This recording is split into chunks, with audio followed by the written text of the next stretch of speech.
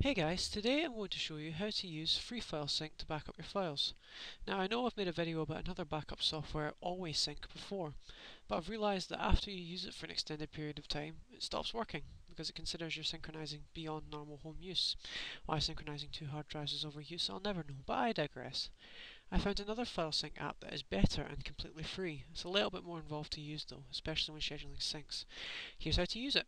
Now first off you'll need to download and install free FreeFileSync, I'll include the link in the description, and when you open it up you should see a screen like this.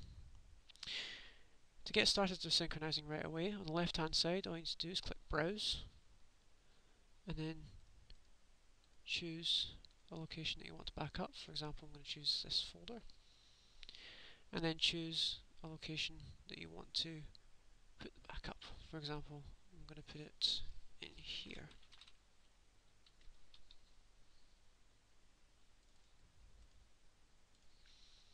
And once you're finished uh, choosing your uh, folders, click Compare.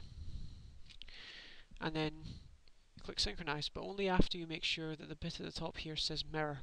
If it doesn't say Mirror, all you need to do is click the green cog, click Mirror, OK, and then you can click Synchronize and start. it may take a while, especially if there's a large amount of files. Then you click Close, and that's you and that's then both sides synchronized. Now this can get slightly time uh, time consuming, so uh, and you may even forget.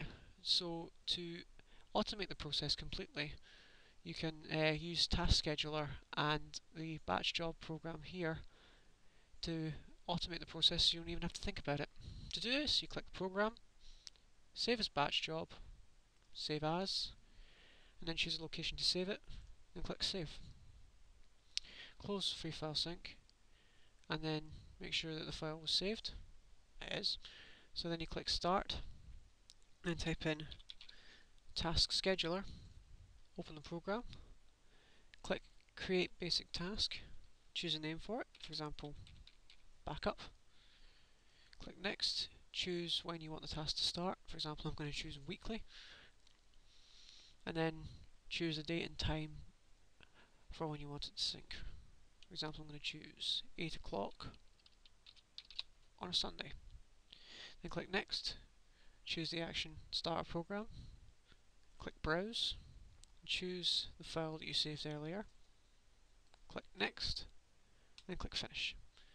And that's it. That's all I can feasibly teach you about FreeFileSync.